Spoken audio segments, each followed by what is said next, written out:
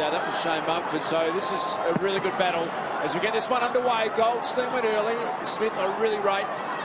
He's been a great inclusion to this side of Dangerfield. So two of the new faces for the Cats combined. at the Selwood. Melbourne have been good at stopping opposition ball movement this year. So it's a fascinating battle tonight. Just got a great example there of how players now just guard space. Sees that Jack Ziebell, he wants to own the corridor. Daniel Wells behind him and Swallow. And so it takes a bit of courage to try and pierce through the corridor. He just got away. You don't see him get on the end of it, but he worked away from that Long, stoppage. long Ran Duncan hard. Great play by Gibson. Bursting out of the centre, Dangerfield, long, direct ball, good hands. Walkie out of that, Harry. Yeah, might have been a hip to the thigh. Kept Jeremy Cameron to just one mark and no goals last week, Harry Taylor. What a player he's been. Mature age recruit from Western Australia. Could not have fitted any better to this superstar side. They combined the two champs. Waxing Selwood back to Dangerfield. Takes on Petrie. He's got a man in the pocket. Man Shoveled it out to Goldstein. He banged off a couple. In went Selwood. Now a disputed ball to be won in the middle. Dangerfield down hard and low. You know what? I'm going to change that to knee, BT. I'm seeing where that ice pack is going, but he's a bit in a bit of discomfort. lead. He might head in that direction. Gonna have to contend with a couple. Dangerfield doing some strong aerial stuff. Also winning it at ground level as well. Now a succession of handballs. They did well. Got it back to danger. Sort of indecision. It just invites its own trouble and poor turnover by the Cats. Yeah, Zach Smith was decisive there to Selwood. Now Dangerfield. Aren't they uh, in good touch early? Long ball down to Menzel. Got his body. Harvey in amongst it here. Here he is again, the man we speak of. Just reefs it out and goes long and direct. And Dangerfield, sensational grab right on 50. Now not beyond him in full flight, but unselfishly to Lang. And Lang able to hang. Here it is again. Floats across the front. That's a contested mark. He can do everything, Paddy Dangerfield. So Darcy Lang. Little clip on the ear there too. Yeah, copped it all. And Dangerfield and Selwood. They've had 17 of Geelong's 64 disposals, but Dangerfield's putting together a, a massive... To Stanley, off hands. Dangerfield's always Holding, Dangerfield. a chance. And that's what happens. He draws free kicks. Holding. Holding, go through. He can't believe it, Spud. only because he doesn't realise it happened about three seconds. and kick through it. So really taking his time, sucking in the air, Paddy Dangerfield. No problems at all distance-wise. And again, he's just really leaning back on them at the moment.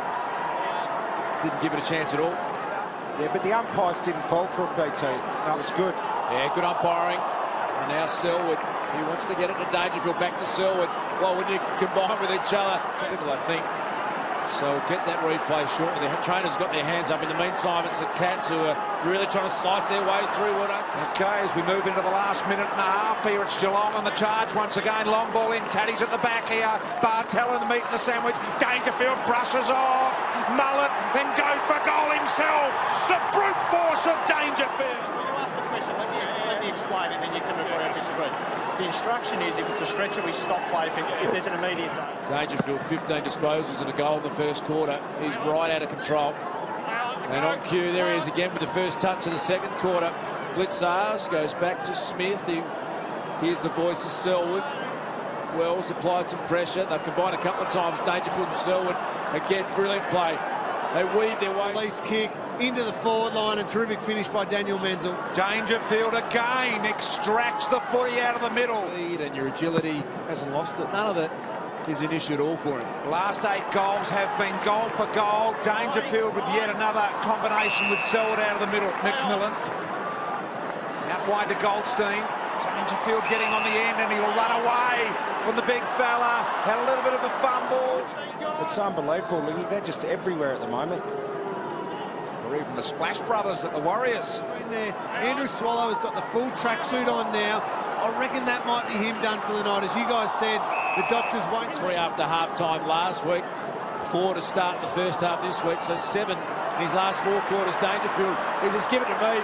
I'll do the rest. Storms it to the edge of 50, going back. So we would almost expect him to be able to get back out there shortly. There's a kick to the edge of 50. Dangerfield, he's at 21, kicked the goal. Now 22, in front, out the back, Dangerfield. Up comes White, slipped over. Used to be because he He's only had one touch this quarter. He just can't get to the contest. Look at him. Now, here's Dangerfield with yet another one. Possession number two. Enright steals it.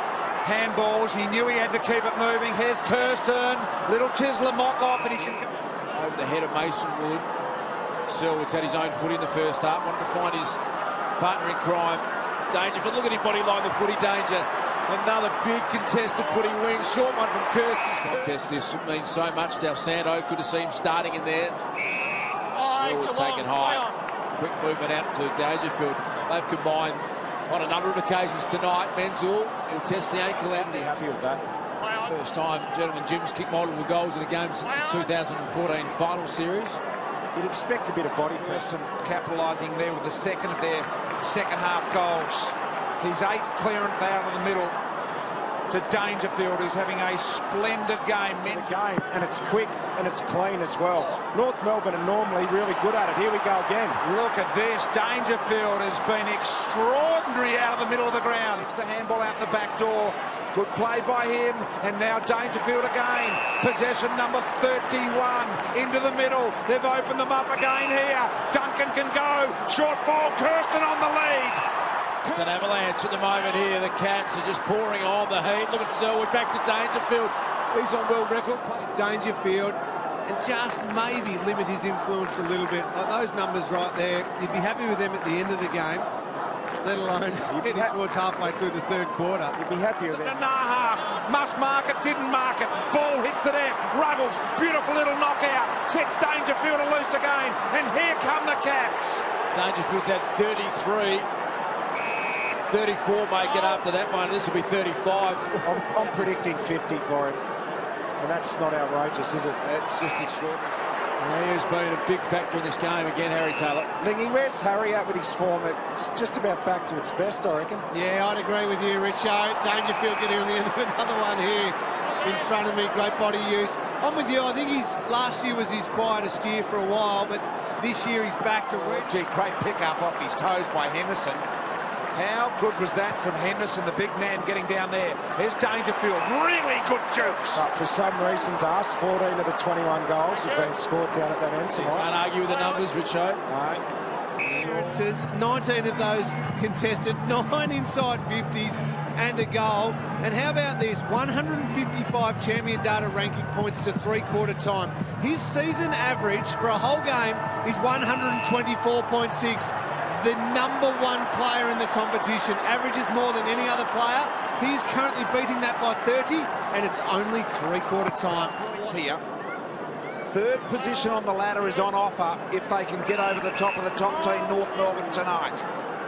Here's Dangerfield. Possession 39. 21 here. Big crowd in tonight. 44,000, just over 44,000. Biggest crowd between these two mobs at this stadium since 2007.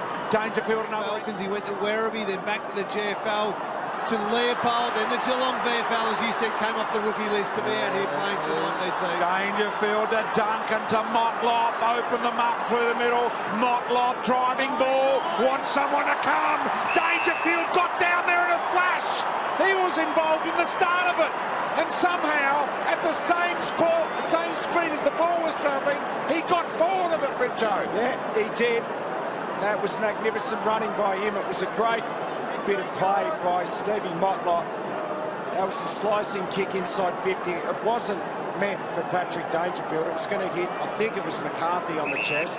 Have a look at him trying to suck the big ones in here. He had to beat the ball down there. And he did it after he started it. Dangerfield takes his time, true professional, kicks the goal. Geelong by 28 points now. And that's a very good, look at this. He starts it at halfback, chisels the handball. Now he peels off. He's got to beat Motlop, who's going a little bit crab-like. But it gave him time to get there. That is extraordinary running. It's unbelievable. It's gut run. He's a superstar. He does it all. He does it all in his game. He wins clearances. He kicks goals. He wins the hard ball. He runs hard. He can mark it. He does absolutely everything. Ziebell, Ziebell played it really well, forced him into an error. Dangerfield looking for disposal number 43. He'll get it. He'll explode away. Now with the left foot, tumbler to the goal square, sliding in. Taylor and numbers queuing up here for the Cats. Lang. Dangerfield the fend off and the nice little kick and he says to Joel so we'll just take it easy from here. A lot of milestone games coming up in the near future, guys. Jimmy Bartel playing game 295 tonight, five games away from being Geelong's fourth player. Five on one, yet McDonald still able to muster a win up out of that for the Kangaroos. Forward line start started work. First half, the forward line wasn't really clicking, but they really got going in the second half. And big round of applause for this man right here. He's been the star of the show. For North Melbourne, I think just not enough numbers through the middle of the ground with Swallow going early, losing Cunnington. There's at times if you miss a game, you can just lose your momentum a little bit, and maybe that's happened for Todd. I reckon he's a bit sore as well. Siren sounds. Geelong to third position on the ladder.